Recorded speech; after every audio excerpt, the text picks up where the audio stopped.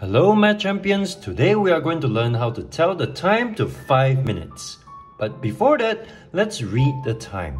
And remember, there are two hands on the clock, the hour hand and the minute hand.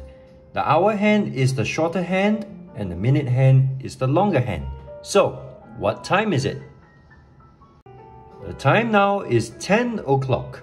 Why is it 10 o'clock? Because the hour hand is pointing towards 10 and the minute hand is pointing straight up at 12. Now let's follow the minute hand as he travels one round around the clock and see what happens to the time. Let's start at the beginning and move minute hand to his first stop over here. What time is it now? The time has just become 10.05. Why is it 10.05? Look very closely at where the minute hand is pointing. It's pointing at this number, which is 5, which means 5 minutes has just passed. Let's move to the second stop. And what time is it now? It is 10.10 because look at the number again. 10 minutes has just passed.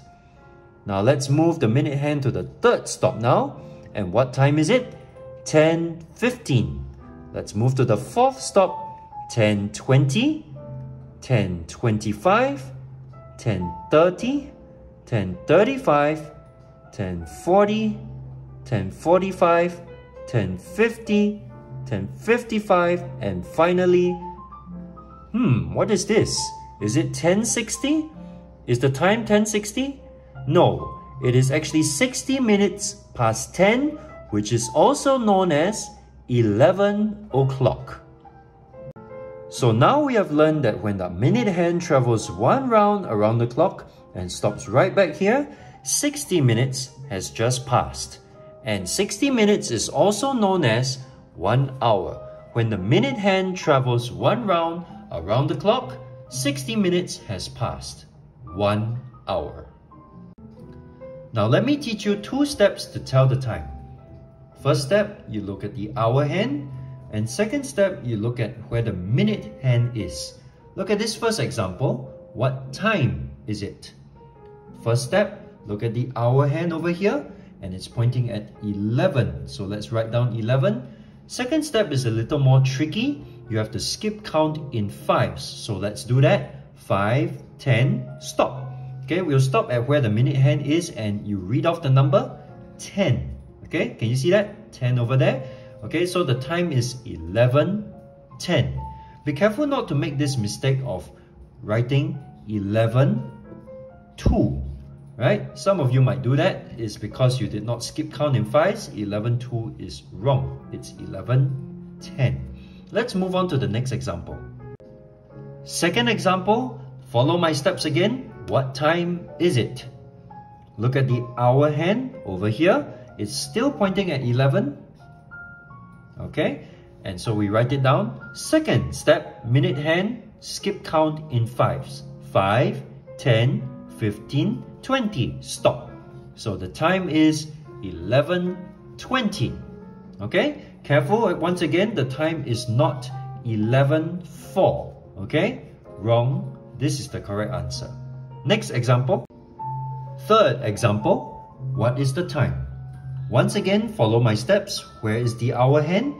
It's over here. Hmm, this time it is not pointing at 11 and it's not pointing at 12. It's pointing in the middle.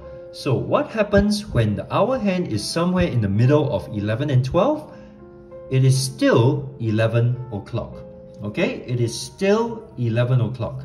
It is past 11, yes, but it has not reached 12 o'clock yet. That's why we will write 11 o'clock. Okay, so remember that.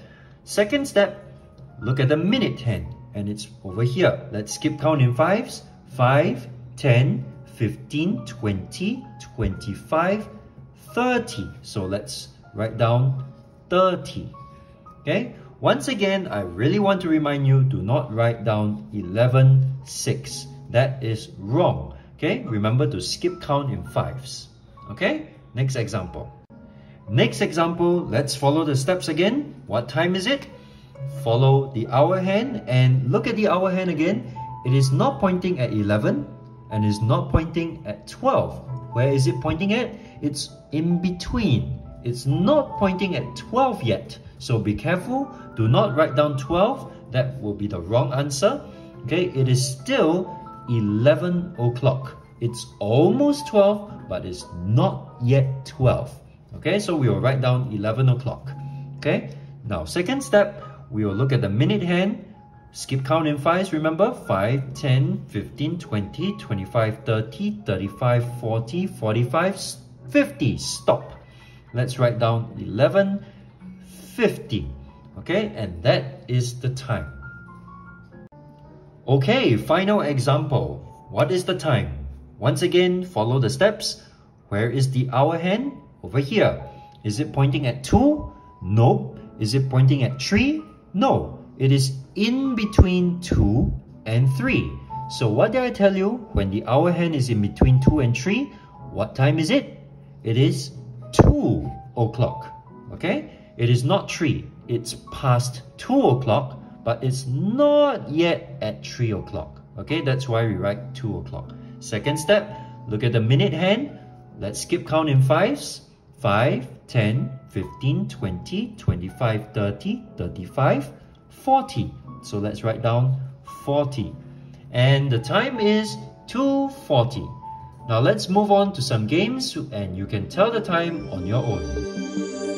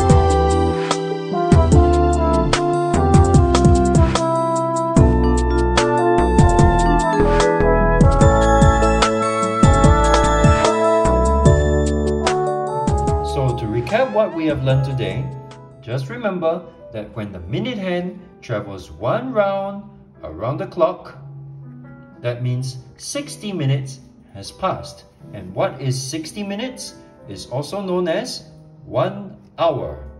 And remember the steps that I've taught you for telling the time. The first step, you look at the hour hand, which is the shorter hand, and then we look at the minute hand, which is the longer hand. And remember to skip count in fives. Okay, I will see you in the next video.